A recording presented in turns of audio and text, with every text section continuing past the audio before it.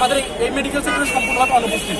যার ফলে এই ভাইবা বেশ পরীক্ষা থাকার কারণে টিচারদের ইম্প্রেশন ছাত্রদের প্রতি টিচারদের দৃষ্টিভঙ্গি, অর্থাৎ এই বিষয়গুলো অনেক গুরুত্বপূর্ণ রোল প্লে করে। যার ফলে কোনো ছাত্র কিন্তু চাইলে ভাইবাতে যদি অনেক ভালো ছাত্র হয় ভাইবা যদি কোনো কারণে খারাপ হয়, তার কিন্তু এই পুরা সিজিপিতে একটা খুব মানে নেগেটিভ প্রভাব পড়ে। যার ফলে তার ভবিষ্যতে ভালো ডাক্তার হওয়া ভালো সিজিপিএ ক্যারি করাটা অনেকাংশে হলো বাধার সম্মুখীন হয়।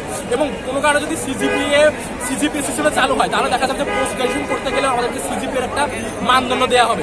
এখন কোনো কারণে যদি এই কারিকুলাম করতে গিয়ে কারও যদি সিজিপিএ কম আসে, দেখা যাবে যে সে এমডিএনএস ডিগ্রি বা এফসিপিএস ডিগ্রি নিতে গিয়ে ঝামেলায় পড়বে।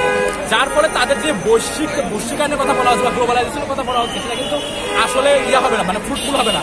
কেন হবে না? কারণ আমাদের কারিকুলামটা পরিবর্তন করা হচ্ছে না। তারা যদি বলতো যে বিদেশের কারিকুলামের মতো করে আমাদের কারিকুলামটাকে ঢেলে সাজানো হবে পূর্ণাঙ্গ ওই ধরনের কারিকুলামের আলোকে সিজিপি ইমপ্লিমেন্ট করা হবে তাহলে আমাদের কোনো আপত্তি ছিল না। কিন্তু তারা বাংলাদেশের এই কারিকুলামের ভিতরেই সিজিপি অ্যাপ্লাই করে আসলে আলটিমেটলি আমাদের ক্ষতি করছে যেটা আমরা মনে করছি।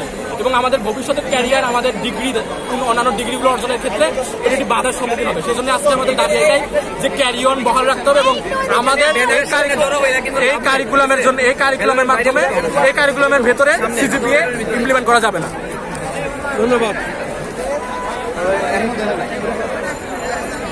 আসলে আজ সকাল থেকে দেখতে পাচ্ছি জাতীয় প্রেস ক্লাবের সামনে। বিদেশি কারিকুলামে কিন্তু এতটা ভাইবা বেস না আমাদের মতো ভাইবা বেস না। যেহেতু আমাদের রিটেনের সমান মার্ক থাকে ভাইবাতে তো আমাদের অনেকটা পাশ ফেল নির্ভর করে ভাইবার উপর।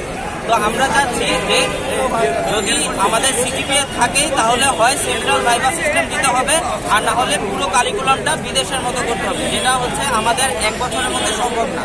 তো আমরা চাচ্ছি যে